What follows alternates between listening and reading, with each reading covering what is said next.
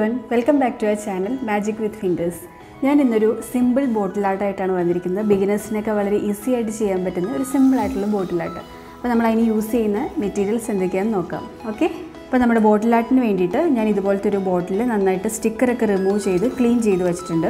പിന്നെ ഇതിനകത്ത് കുറച്ച് പെർമനന്റ് ലെറ്ററിങ്സ് ഉണ്ട്. അത് നമുക്ക് റിമൂവ് ചെയ്യാൻ പറ്റുന്നില്ല അത് പ്രശ്നമല്ല. പിന്നെ ഇതിനകത്ത് ഞാൻ ഒട്ടിക്കാൻ വേണ്ടിയിട്ട് കുറച്ച് ടിഷ്യൂ പേപ്പേഴ്സാണ് എടുത്തിരിക്കുന്നത്. ടിഷ്യൂ പേപ്പേഴ്സ് ഞാൻ ഫെവിക്കോൾ യൂസ് ചെയ്തിട്ടാണ് ഇതിനകത്ത് സ്റ്റിക്ക് ചെയ്ത് കൊടുക്കുന്നത്. ഫെവിക്കോൾ ഞാൻ വൺ ഈസ് ടു വൺ എന്നുള്ള റേഷ്യോയിലാണ് എടുത്തു വെച്ചിരിക്കുന്നത്. ദാറ്റ് മീൻസ് ഇപ്പോൾ നമ്മൾ വൺ സ്പൂൺ ഫെവിക്കോൾ എടുക്കുകയാണെങ്കിൽ വൺ സ്പൂൺ വാട്ടറും കൂടെ കൂടി ഒരുമിച്ച് മിക്സ് ചെയ്ത് ആ ഒരു കൺസിസ്റ്റൻസിയാണ് one is to one ratio പിന്നെ ഞാൻ ഇതിനകത്ത് ഡെക്കറേറ്റ് ചെയ്യാൻ വേണ്ടിയിട്ട് കുറച്ച് ജൂട്ട് ത്രെഡാണ് എടുത്തിരിക്കുന്നത്. ജൂട്ട് ത്രെഡ് ഞാൻ ഇതുപോലെ ഇങ്ങനെ ചുറ്റി കുറച്ച് ബിഗ് സ്മോൾ സൈസാക്കി ആക്കി ഇങ്ങനെയകത്ത് ഒട്ടിച്ചു കൊടുക്കും. അത് ഒട്ടിച്ചു കൊടുക്കാൻ വേണ്ടി ഞാൻ ഗ്ലൂ ഗണ്ണാണ് യൂസ് ചെയ്തിരിക്കുന്നത്. പിന്നെ ഇതിനകത്ത് കളർ ചെയ്യാൻ വേണ്ടിയിട്ട് റെഡ് അക്രലിക് കളറാണ് യൂസ് ചെയ്തിരിക്കുന്നത്. കുറച്ച് ഗോൾഡൻ ഡസ്റ്റ് പൗഡർ യൂസ് ചെയ്തിട്ടുണ്ട്. ഡെക്കറേഷന് വേണ്ടിയിട്ട് കുറച്ച് ഗോൾഡൻ ബീഡ്സ് എടുത്തിട്ടുണ്ട്. പിന്നെ ബ്രഷസ് അപ്പോൾ ഇത്രയാണ് നമ്മുടെ ബോട്ടിൽ ആർട്ടിന് വേണ്ടിയിട്ടുള്ള മെറ്റീരിയൽസ് ഇനി നമുക്കിതെങ്ങനെ വേഗം റെഡിയാക്കാൻ നോക്കാം. ഓക്കെ അപ്പോൾ നമ്മുടെ ഫസ്റ്റ് സ്റ്റെപ്പ് എന്താണെന്ന് വെച്ചിട്ടുണ്ടെങ്കിൽ ഈ ബോട്ടിലേക്ക് ടിഷ്യൂ പേപ്പേഴ്സ് സ്റ്റിക്ക് ചെയ്ത് കൊടുക്കുക. അപ്പോൾ അതിന് വേണ്ടിയിട്ട് ഞാൻ ടിഷ്യൂ പേപ്പേഴ്സ് എടുത്ത് ഒന്ന് ചെറുതായിട്ട് കട്ട് ചെയ്തെടുക്കുകയാണ്. കട്ട് ചെയ്തെടുക്കണത് എന്തിനാണെന്ന് വെച്ചിട്ടുണ്ടെങ്കിൽ നമുക്ക് സ്റ്റിക്ക് ചെയ്യാൻ എളുപ്പത്തിന് വേണ്ടിയിട്ടാണ്.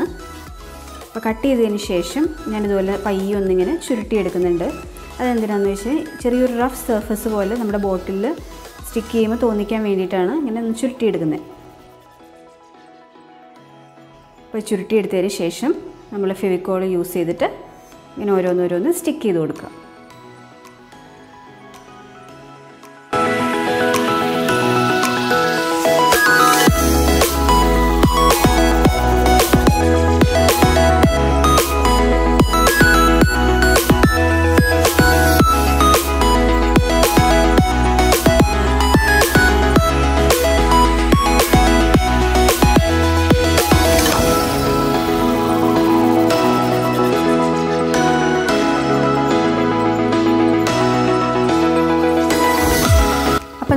ടിഷ്യൂ പേപ്പർ എല്ലാം ഈ ബോട്ടിലിൽ നന്നായിട്ട് ഒട്ടിച്ചു കൊടുത്തിട്ടുണ്ട്. ഇനി ഇതൊരു ടു ത്രീ ഹവേഴ്സ് ഉണങ്ങാൻ വേണ്ടി ഡ്രൈ ആവാൻ വേണ്ടിയിട്ട് നമ്മൾ മാറ്റി വയ്ക്കുക അപ്പോൾ ആ ഒരു ടൈമിൽ നമുക്ക് ഈ ജ്യൂട്ട് വെച്ചിട്ട് ഇതിനകത്തേക്ക് വേണ്ടിയിട്ടുള്ള ആ ഒരു ഡിസൈൻ ഉണ്ടാക്കിയെടുക്കുക. ഇങ്ങനെ ചുറ്റി ചുറ്റി ഇതുപോലെ കുറച്ച് വലിയ സൈസും ചെറിയ സൈസും ഇതുപോലെ ഇങ്ങനെ ചുറ്റി നമുക്ക് എടുത്തു വയ്ക്കാം ഈ ഒരു ഇതൊന്ന് ഡ്രൈ ആവുന്ന ടൈമിലുണ്ട് ഓക്കെ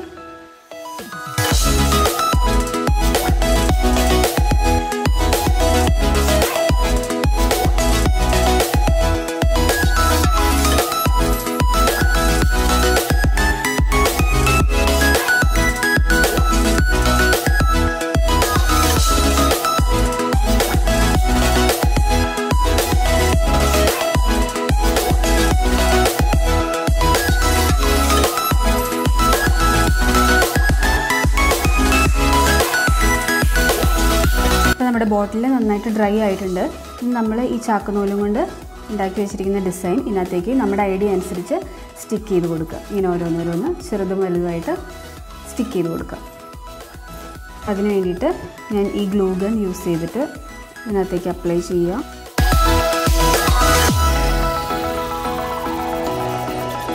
ഇതുപോലെ ഇനി നമ്മൾ ഓരോന്നോരോന്ന് നമ്മുടെ ഐഡിയ അനുസരിച്ച് സ്റ്റിക്ക് ചെയ്തെടുക്കുക.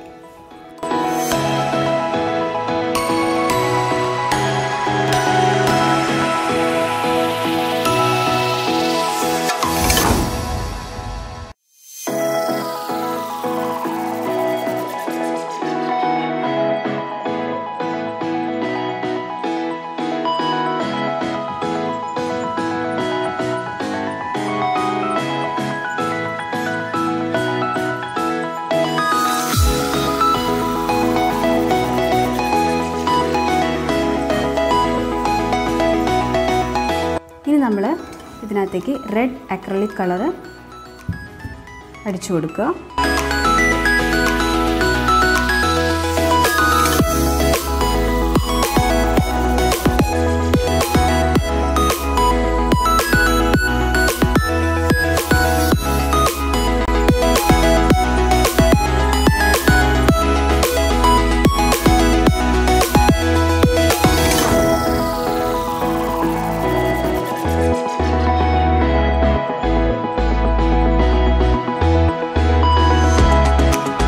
അപ്പോൾ നമ്മൾ ബോട്ടിലിൽ ഫുൾ റെഡ് അക്രലിക് കളർ അടിച്ചു കഴിഞ്ഞു. ഇനി നമ്മൾ ചെയ്യേണ്ടത് എന്താണെന്ന് വെച്ചിട്ടുണ്ടെങ്കിൽ നമ്മൾ ഗോൾഡൻ ഡസ്റ്റ് ഇത് ഒരു പൗഡറാണ്.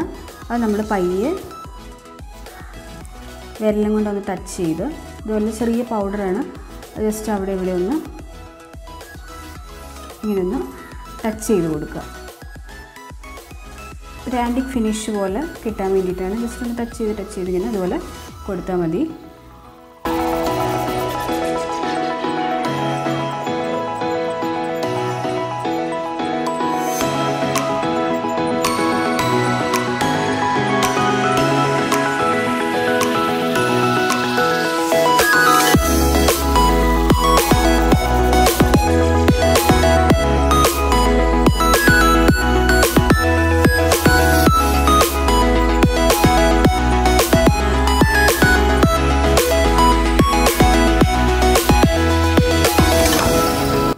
ശേഷം നമ്മൾ ഡെക്കറേറ്റ് ചെയ്യാൻ വേണ്ടി വെച്ചിരിക്കുന്ന കുറച്ച് ഗോൾഡൻ ബീഡ്സ് ഇതിനകത്തേക്ക് സ്റ്റിക്ക് ചെയ്ത് കൊടുക്കുകയാണ്